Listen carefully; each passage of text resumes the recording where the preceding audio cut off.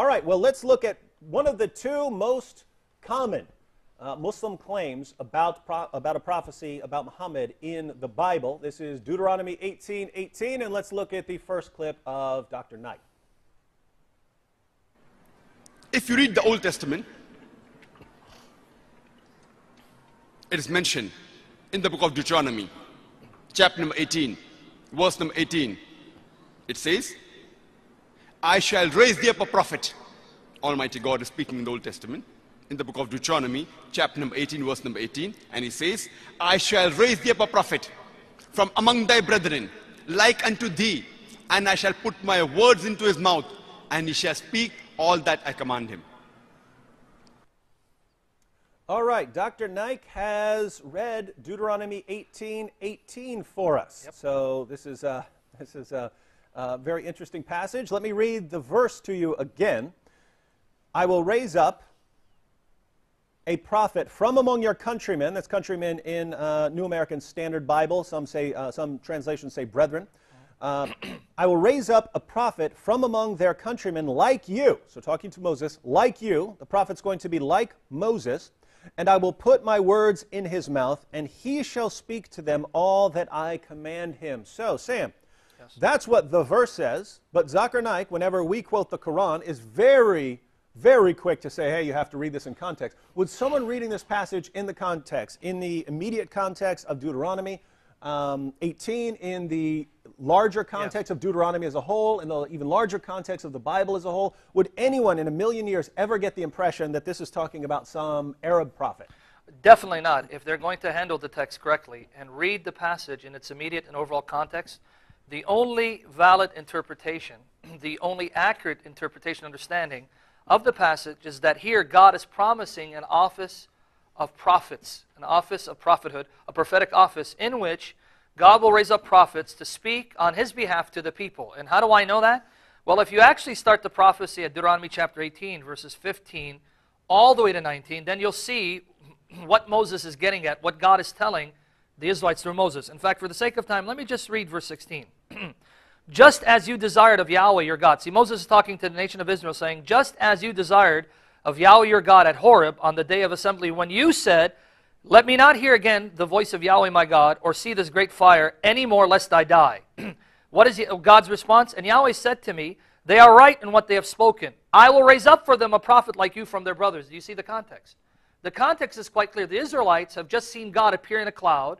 They see thunder and lightning, and, and they hear God's voice, and they're struck with terror and fear. And by the way, if you want to find the reference to that, it's Exodus chapter 20. You read Exodus chapter 20, and you pick it up from verses 18 and read to 23. You'll see that they were struck with terror, hearing the voice of God and seeing the cloud descend upon Mount Sinai. So they told Moses, We don't want to hear God's voice lest we die. You speak to us on God's behalf. So God says, What you requested is a good thing. From now on, I'm going to raise up prophets to speak to you on my behalf. Are you telling me that God was going to wait for 2,200 years to send an Arab prophet to talk to Israelites? Well, what did God do for that 2,200 year period of time? Just left them in the dark? But hold on, you as a Christian would believe that Jesus was the Exactly. ultimate fulfillment of this He's passage, the, because right? he's the ultimate fulfillment of all these promises and prophecies made to Israel. But hold, is- but hold on, that, that's a 1400 year period. You just, you just, No, because what I'm saying is that this is an office, a prophetic office, that's uh, filled by many people subsequent or uh, prior to Jesus. Jesus comes and consummates this office, but he's not the only one. It's a succession of prophets, starting with Moses and then being fulfilled in its ultimate sense in, in the Lord Jesus Christ. So, no, there's no problem with my position. Now, before, before we uh, thoroughly expose uh, Naik's argument here, I wanted to, to play one more clip on this argument by Dr. Naik where he gives the Christian view for us, right? Yeah. He gives the Christian view. And you have to watch Zakir Naik because he's very quick to say, this is what Christians believe and this is the Christian argument when I've never heard a Christian say this sort of thing, right? So let's go ahead and play the next clip. Why, according to Dr. Zakir Naik, do Christians believe that this applies to Jesus? Let, let, let's hear Zakir Naik's version of our argument. The Christians, on the other hand, they say that this prophet mentioned in the book of Deuteronomy refers to Jesus, peace be upon him. And when we ask them that why does this prophecy refer to Jesus, peace be upon him, they tell us that the prophecy mentions the prophet to come will be from the brethren of Moses, peace be upon him, and that prophet will be like Moses, peace be upon him. And the criteria they give for the fulfillment of this prophecy is they say that Jesus Christ, peace be upon him, he was a Jew. And like Prophet Moses, peace be upon him, he was too a prophet of Almighty God. Now, Sam, Sam, So, yeah. when, when, when, when, when we want to show that this applies to Jesus, that the, the ultimate fulfillment of Deuteronomy 18:18 is Jesus, is our argument now, or has it ever been, or will it ever be? One, Jesus was a Jew, and two, Jesus was a prophet. So clearly, he's the He's- fulfillment of Deuteronomy 18:18. In fact, that's such a powerful argument. I've never heard that before, but now I am convinced Jesus is the prophet like Moses. Obviously not. That's actually nonsense, and mm-hmm. it's a blatant distortion mm-hmm. of what the actual Christian position And, is. and, and we have to ask ourselves Dr. Naik claims that he is a, a student of various religions, Yeah. right? He claims to be an expert on Christianity. Any expert on Christianity, anyone who's been studying Christianity for a, a couple of months would understand what our position is. Yet Zakir Naik, when he's speaking to an audience full of Muslims, deliberately distorts our argument, waters it down. Why? Why wouldn't he present our argument accurately and then respond to what we actually say? We can only assume it's because he knows people in the audience wouldn't actually believe his claims. They wouldn't believe his response. They wouldn't believe his argument anymore if they knew what we actually say. And we're not going to go into much detail. Let me give you a very, uh, I'll, I'll read two passages briefly, and then Sam can add some additional responses to this argument. And then we'll, then we'll see that the actual context rules out Muhammad as a, as a prophet at all. He can't possibly be a prophet. And we'll even see that according to Deuteronomy 18, Moses would have had Muhammad killed Precisely, for the things Muhammad said. But let me read a passage in the book of Acts. Why is this important? Because according to Islam, Jesus had followers who were good Muslims and who converted to the teachings of Jesus and then went out and proclaimed his message. Well, we have records. We have records of the teachings of Jesus' followers. One of these passages is in the book of Acts, chapter 3. I'll begin at verse 19. This is Peter. This is the Apostle Peter talking. He says, Therefore, repent and return so that your sins may be wiped away, in order that times of refreshing may come from the presence of the Lord, and that he may send Jesus the Christ appointed for you, whom heaven must receive until the, uh, until the period of restoration of all things about which God spoke by the mouth of his holy prophets from ancient time. Moses said, The Lord God will raise up for you a prophet like me from your brethren. To him you shall give heed to everything he says to you, and it will be that every soul that does not heed the prophet, that prophet, shall be utterly destroyed from among the people. Does this sound familiar? This is the Apostle Peter, Jesus' follower, quoting Deuteronomy 18, applying it to Jesus in the presence of a bunch of people who would know what that passage means, unlike Muhammad's followers who would have had no clue what the passage means. And likewise, all the prophets who have spoken from Samuel and his successors onward also announce these days it is you who are the sons of the prophets and of the covenant which God made with your fathers, saying to Abraham, And in your seed all the families of the earth shall be blessed. For you first God raised up his servant and sent him to bless you by turning every one of you from your wicked ways. So the apostle Peter here, Jesus' follower, says this applies to Jesus. And this is a Jew speaking to a bunch of Jews on exactly what this passage means. They would have had some idea. So this is very different from Muhammad speaking to a bunch of Arabs who have no clue what this passage means. He can get away with it. Peter wouldn't have gotten away with it because, because the people would have refuted him. But there's uh, one more passage I want to read from the book of Deuteronomy itself because we, we, we watched two short clips. Zakir Naik actually goes on to show various ways that Muhammad is like Moses. So, for instance, uh, Muhammad was a political leader just as Moses was a political leader, and so on. So he gives examples like these. But in context, love, loves context. In context, to the people of the time, what did it mean to refer to a prophet like Moses? What was important Exactly. to them?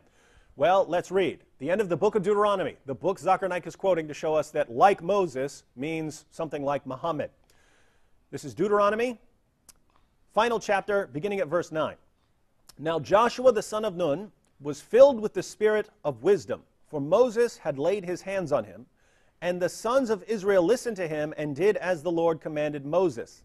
Since that time, no prophet has risen in Israel like Moses. So we, we're getting an idea of what like Moses meant in the context of the time.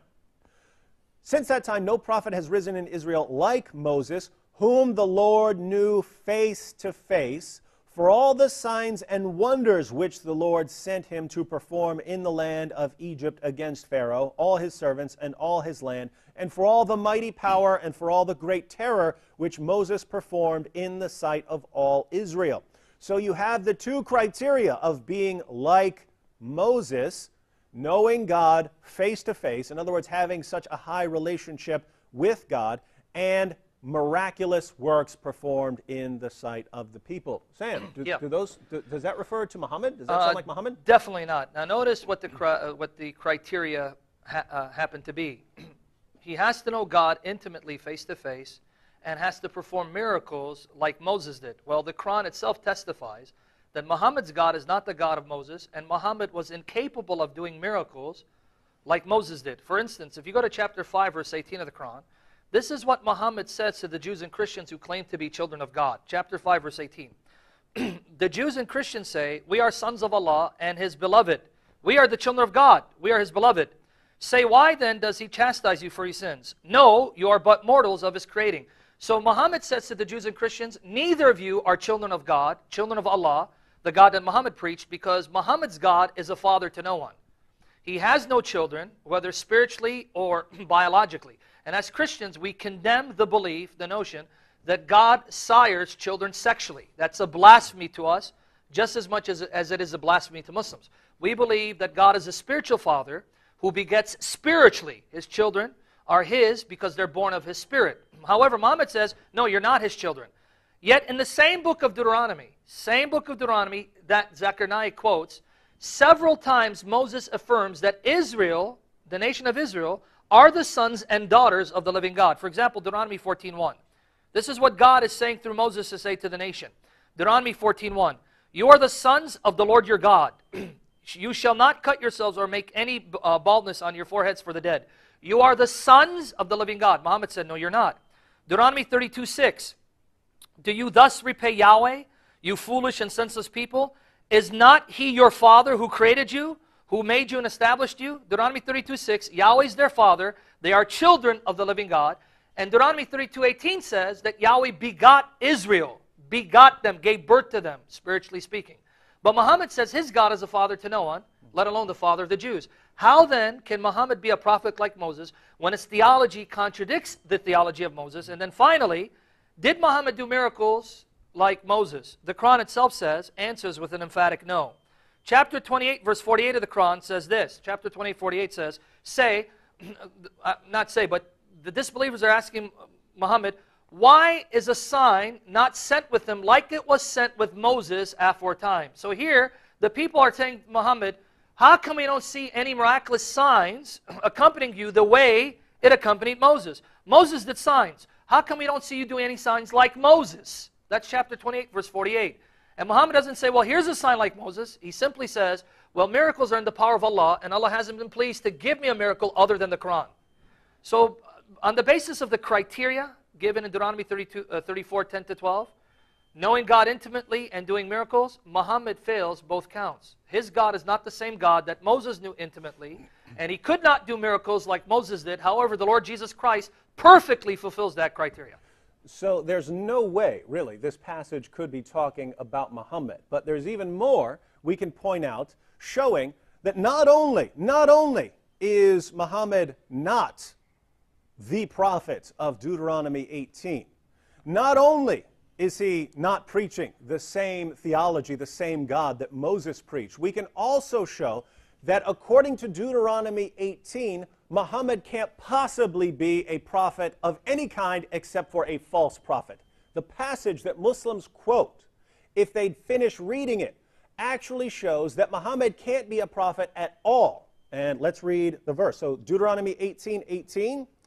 Uh, just two verses later, we read Deuteronomy 18:20, which gives two criteria of a false prophet. And we have the two criteria right here.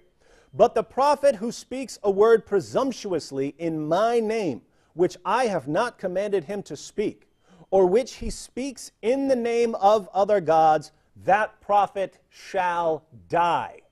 This is the same passage. This is the same passage that Muslims are quoting to show that Muhammad is a prophet. And just two verses later, after Deuteronomy 18 18, we read that Muhammad can't be a prophet at all. Why? Two criteria. If you speak something, if you deliver a revelation that doesn't come from God, or if you speak in the name of other gods, you're a false prophet, and Moses, according to Moses, you would be put to death, Exactly. right? Now, did Muhammad do these? Did Muhammad do either one of these? Yeah, definitely. Of In course he fact, did. he did both, and we know this is exactly what Muhammad did with the infamous satanic verses. If you don't know the story, I have 37 Muslim sources of various of varying degrees of reliability, including passages that go all the way back to people like Ibn Abbas, saying that Muhammad delivered a revelation to his followers.